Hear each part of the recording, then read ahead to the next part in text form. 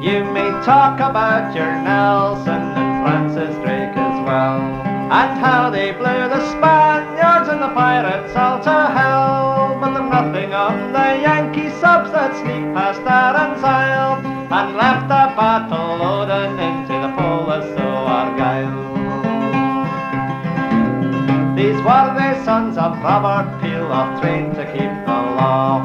And any danger they'll providing it is small. and naval operations they specialise in style, but the Holy Loch proved quite a shock to the Polis o Argyll.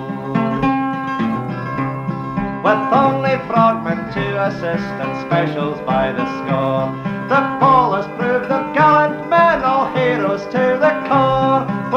Proteus squad behind them and nuclear missiles too, they did the near impossible, they captured one canoe.